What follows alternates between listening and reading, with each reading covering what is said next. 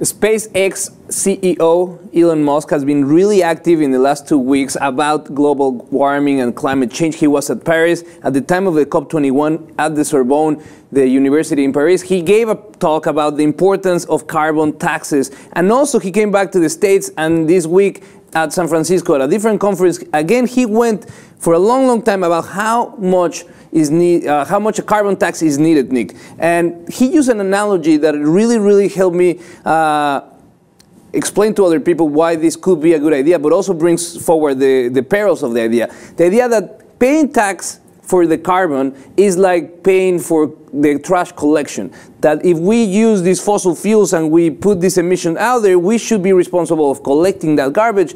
And I think drives that point home. We can't go through life using these fossil fuels and expecting that the garbage that comes out of that use just goes away. Coming from the guy who wants to nuke Mars, I mean, you know, it, it's great. It's a very good metaphor, right? And it makes us, you know, understand this a little bit easier. But, you know, we can't clean up or collect the CO2 the way that we would garbage cans, right? So he's kind of saying we need to tax um, these these fossil fuels to give people an incentive to wean off of them and, and, and stop using them. I think that's the goal here, uh, ultimately, right? Correct. He went to say that pretty much what we have right now in terms of energy is like having a high tax on fruit and vegetables and a low tax on cigarettes and alcohol. Uh, with the idea that this you know, incentivizes bad behavior. That it's hard for humanity to move away from fossil fuels and they are still away from tapping into renewables. But he's talking from the place of a millionaire from Silicon Valley that probably has a house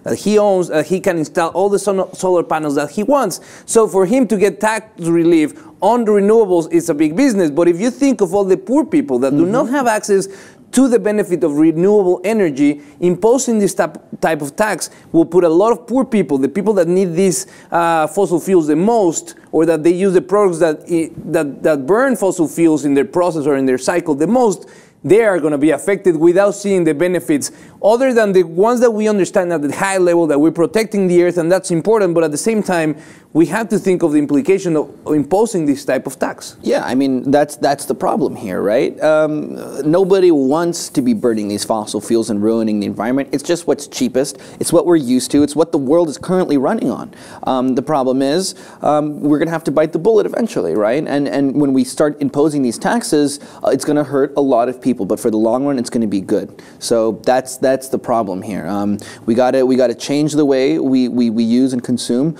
but we're also going to have to make some sacrifices, and that's that's why it's tough, and that's why you know we can't just like this stop what we're doing with the fossil fuels. It, it takes time, and, and it's going to affect a lot of people. And one thing that further complicates the whole thing is the fact that in the United States, this has become a partisan issue. And as Elon Musk says, this goes beyond partisan affiliation. It's not a left or right issue, it's a global issue where we all have to participate. The COP21 agreement is trying to move away from fossil fuels by the end of the century, completely take away fossil fuels from the modern economy, but Elon Musk says we have to pay this carbon tax because it's like paying for people to pick up our trash. And since we can't prevent the burning of fossil fuels in the style, the lifestyle that we have today, he thinks that taxing is the best option.